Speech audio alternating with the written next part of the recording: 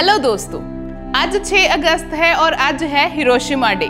ਜੀ ਹਾਂ ਹਿਰੋਸ਼ੀਮਾ ਨਾਗਾਸਾਕੀ ਦੇ ਬਾਰੇ ਕਿਸ ਨੂੰ ਨਹੀਂ ਪਤਾ ਬਿਲਕੁਲ ਇਹ ਉਹੀ ਜਾਪਾਨ ਦੇ ਸ਼ਹਿਰ ਹਨ ਜਿੱਥੇ ਕਿ ਨਿਊਕਲੀਅਰ ਬੰਬ ਸਿੱਟੇ ਗਏ ਸਨ ਔਰ 6 ਅਗਸਤ ਨੂੰ ਹਿਰੋਸ਼ੀਮਾ ਡੇ ਇਸ ਕਰਕੇ ਮਨਾਇਆ ਜਾਂਦਾ ਹੈ ਤਾਂ ਜੋ ਸ਼ਾਂਤੀ ਦੀ ਰਾਜਨੀਤੀ ਯਾਨੀ ਕਿ ਪੀਸ ਆਫ ਪੋਲਿਟਿਕਸ ਨੂੰ ਪ੍ਰਮੋਟ ਕੀਤਾ ਜਾ ਸਕੇ ਦਰਅਸਲ 6 ਅਗਸਤ ਨੂੰ ਹਿਰੋਸ਼ੀਮਾ ਦੇ ਵਿੱਚ ਅਮਰੀਕਨ ਬੰਬਰ ਇਲਨ ਗੇ ਨੇ ਨਿਊਕਲੀਅਰ ਬੰਬ ਸਿੱਟਿਆ ਸੀ ਜਿਸ ਦੇ ਕਰਕੇ ਤਕਰੀਬਨ 80000 ਲੋਕ ਜਿਹੜੇ ਸੀ ਉਹ ਮੌਤ ਦੇ ਘਾਟ ਉਤਰ ਗਏ ਸੀ ਔਰ 35000 ਲੋਕ ਜ਼ਖਮੀ ਹੋ ਗਏ ਸਨ। ਔਰ ਉਸ ਤੋਂ 3 ਦਿਨ ਬਾਅਦ ਨਾਗਾਸਾਕੀ ਦੇ ਉੱਪਰ ਵੀ ਐਟੋਮਿਕ ਬੰਬ ਦੇ ਨਾਲ ਹਮਲਾ ਕੀਤਾ ਗਿਆ।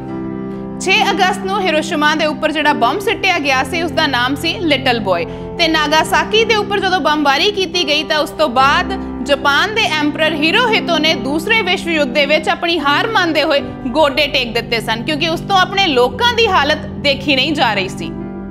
ਦੁਨੀਆ ਦੇ ਇਸ ਪਹਿਲੇ ਔਰ ਆਖਰੀ ਨਿਊਕਲੀਅਰ ਹਮਲੇ ਤੋਂ ਬਾਅਦ ਫੈਸਲਾ ਇਹ ਕੀਤਾ ਗਿਆ ਕਿ ਕੋਈ ਵੀ ਦੇਸ਼ ਜਿਸ ਦੇ ਕੋਲ ਨਿਊਕਲੀਅਰ ਪਾਵਰਸ ਹਨ, ਐਟਮ ਬੰਬ ਹਨ, ਉਹ ਇਹਨਾਂ ਦੇ ਨਾਲ ਕਿਸੇ ਦੂਸਰੇ ਦੇਸ਼ ਦੇ ਉੱਪਰ ਹਮਲਾ ਨਹੀਂ ਕਰੇਗਾ। ਇਸੇ ਕਰਕੇ 6 ਅਗਸਤ ਨੂੰ ਮਨਾਇਆ ਜਾਂਦਾ ਹੈ ਹਿਰੋਸ਼ੀਮਾ ਡੇ, ਤਾਂ ਜੋ ਦੇਸ਼ਾਂ ਦੇ ਵਿੱਚ ਆਪਸੀ ਪਿਆਰ ਅਤੇ ਸਦਭਾਵਨਾ ਬਣੀ ਰਹੇ। ਉਮੀਦ ਹੈ ਤੁਹਾਨੂੰ ਸਾਡਾ ਅੱਜ ਦਾ ਐਪੀਸੋਡ ਜ਼ਰੂਰ ਪਸੰਦ ਆਇਆ ਹੋਵੇਗਾ। ਫਿਲਹਾਲ ਦੇ ਲਈ ਮੈਨੂੰ ਜਸਪ੍ਰੀਤ ਨੂੰ ਦਿਓ ਇਜਾਜ਼ਤ, ਪਰ ਤੁਸੀਂ ਬਣੇ ਰਹੋ ਸੇਨ ਸੋਲਜਰ ਟਾਈਮਸ ਨਾਲ ਫੇਸਬੁੱਕ ਅਤੇ YouTube ਉੱਤੇ।